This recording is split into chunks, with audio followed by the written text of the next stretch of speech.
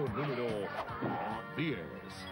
Había una vez un relator deportivo que poseía el monopolio del domingo a la noche. La voz de Marcelo Araujo identificó durante años al fútbol de primera, pero siempre llega el momento en el que aún el mejor jugador debe asumir la posibilidad de bajar de categoría.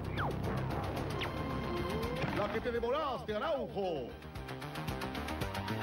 No había competidor para Araujo. Si en las transmisiones deportivas Víctor Hugo era el monarca radial, Araujo era el conde en la tele. Su dupla con Macaya Márquez era tan indisoluble como la pareja de César y Mónica. Otro amonestado es el jugador López por Dolobus. Mira si no fue penal, mira, mira, mira.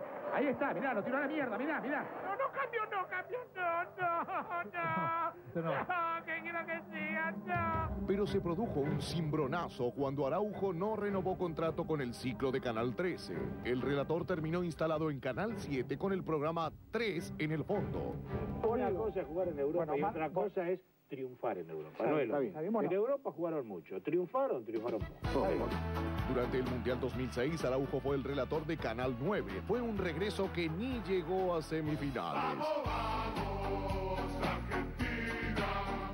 Fue el nombre de la. No, de no, la era, era para que, Bueno, era para que, quiero decir, era, ¿está perdón, bien? no, no, no, no, está bien, no, era para No, que, fue así. eh, no, no, no, no, Bueno, está no, no fue Grondona el que lo llamó a Bian. No hace falta. Yo también quiero hacer un gol. Allí viene haciendo el cabezazo. De Ayala, gol.